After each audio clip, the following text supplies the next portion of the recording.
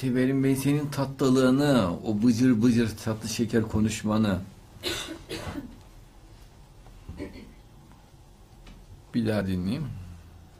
Kadınların estetik yapma konusunda ne düşünüyorsunuz? Ee, canımın içi böyle hakikaten o hanımı rahatsız eden bir şey varsa e, onu düzelttirebilir yani onda bir şey yok. Çok ciddi rahatsız ediyorsa ama e, beni rahatsız eden o bayıltma işlemi, narkoz. Ondan tedirgin oluyorum çünkü bazen narkozda ama artık pek olmuyor ben yani 10 yıldan beri falan pek duymuyorum. Herhalde o narkozu eskiden bilmiyorlardı pek. Bazen yüzde bir de olsa narkozdan değil mi? Binde bir de olsa o bir ölüm oluyordu. Şu an hiç duymuyorum. Yani uzun yıllardan beri duymuyorum. Ama tabii yine de içim rahat etmiyor. Narkozsuz ameliyat yapabiliyorlarsa yani lokal anesteziyle e, bir genç kız beğenmediği bir yeri varsa hakikaten onu rahatsız ediyorsa düzelttirsin. Düzelten de Allah'tır. E, Yani çünkü o görüntüyü yaratan Allah. O adam kimse kimsenin yüzünün şeklini değiştiremez. Olabilir ama bazen genç kızlar çok gereksiz oluyor. Mesela burnunu bombeli oluyor bazen. Ya diyor bu beni rahatsız ediyor onu aldırayım diyor. Ya sana yakışıyor. Bir garip bir kümük burnu oluyor bir şey yapıyor bir seferde yani. Tamamen oyduruyor. Burnu neredeyse yapışıyor yani gözlerine yapışıyor yani. Ya zoruna ne oldu?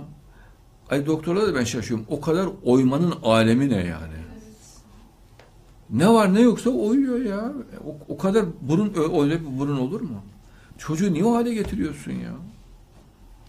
Hayır makul bir düzeye getirsen yine olur. Makul bir şey yap. Çökertip mahvetmenin alemi ne? Bazen öyle yapıyorlar. Açıkça belli oluyor ameliyatlı olduğu. Ya, makul bir ameliyat olabilir. Ama çoğu zaman burunlara yakışıyor genç kızlar. Mesela büyük bir burun genç kıza yakışıyor. Daha cazibeli böyle seksi oluyorlar, güzel oluyorlar. Anlamıyor onu. Gidip doğratıyor. Bir, bir acayip bir şekiller yaptırıyor. Veya silikon. Yani kardeşim protez göğsünde iki tane plastik var. Yani bir genç kız olacak iş mi şu ya? Ne gerek var? Yani doğal hali çok daha iyi. Yapma öyle şey ne gerek? Ya plastik taşıyan bir insan yani mesela düşün adam iki tane kulakları plastik olsa mika, mika kulak olsa gitmez bu insana yani bir acayip durur. Ya Allah vermez mecbur olursa tamam da. Değil mi? Yani plastik bir burun.